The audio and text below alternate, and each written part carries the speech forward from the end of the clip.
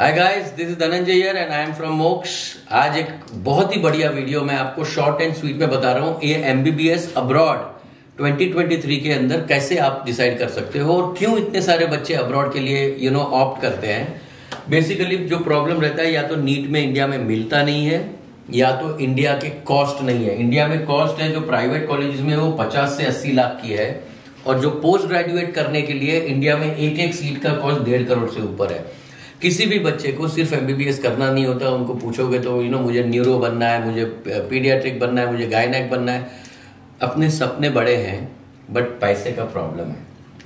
या तो फिर मेजर स्टूडेंट्स को मेरिट का प्रॉब्लम है। जो भी स्टूडेंट क्वालिफाई होता है, वो क्या करता है जनवरी फेब्रुवरी से अपना अब्रॉड का सीट ब्लॉक कर देता है। कहाँ पे करोगे? Based on your available budget या तो मैक्सिमम स्टूडेंट्स क्या करते हैं? Russia. Which is the most popular करीब करीब करीब छब्बीस, सत्ताईस साल से बच्चे लोग रशिया जाते हैं। आज की तारीख में रशिया के more than seven thousand doctors जो हैं वो इंडिया में प्रैक्टिसिंग है।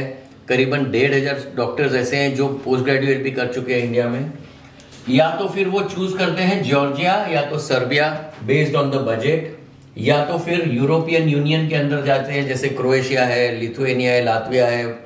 पोलैंड है you know all this which are very expensive but not so much expensive क्योंकि इंडिया में अगर आप छोटे से गाँव में, छोटे प्राइवेट कॉलेज में भी अगर आप मैनेजमेंट सीट लेते हो या तो एनआरआई सीट लेते हो, उससे भी कम कॉस्ट में आपको यूरोपियन यूनियन के अंदर आप but you have to apply submit the documents processing शुरू करना पड़ेगा ऑन टाइम अदरवाइज़ यहाँ पे एडमिशन जून महीने में खत्म हो जाते हैं।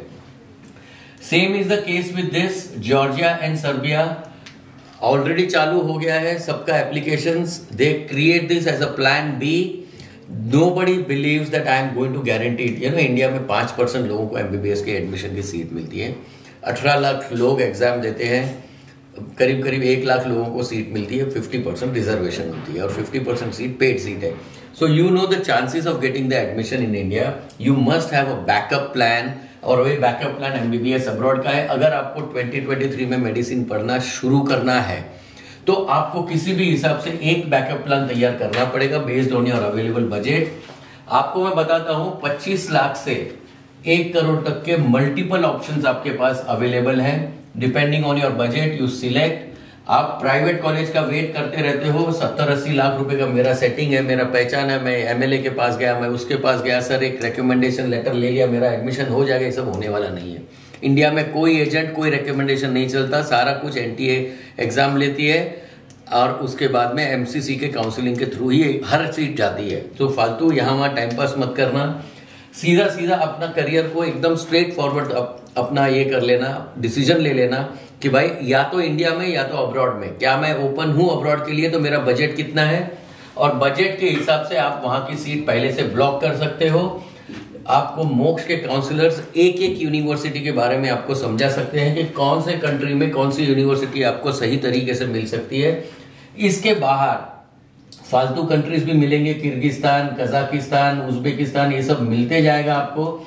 मैक्सिमम स्टूडेंट्स जो रूरल एरिया के हैं, जिनके पास कोई एडवाइजरी सर्विसेज़ नहीं है, कोई ऑनेस्ट काउंसलर नहीं है, बस बच्चा उठाया और भेज दिया, वहाँ पे कोई quality of education English speaking teacher तक नहीं मिलेगा आपको। ये वाला हालत में आपको किर्गिज, कजाक और उज्बेकिस्तान वाले सारे कंट्रीज़ मिलेंगे। क्वालिटी टीचिंग चाहिए क्वालिटी एजुकेशन चाहिए, सही तरीके से पढ़ाई चाहिए अगर तो आपको अपने से डेवलप्ड कंट्री में जाना पड़ेगा and you can choose it as per your budget Moksh will not send you to these countries at any cost Moksh to understand go deeper how to ensure your medical seat in 2023 thank you bye